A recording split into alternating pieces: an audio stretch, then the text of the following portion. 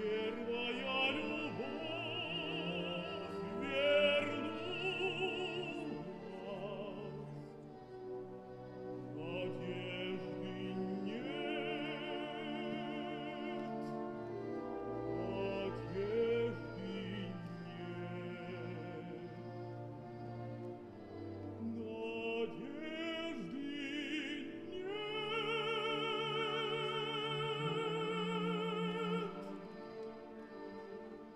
Вот они, полторы тысячи, половина Катькиных денег.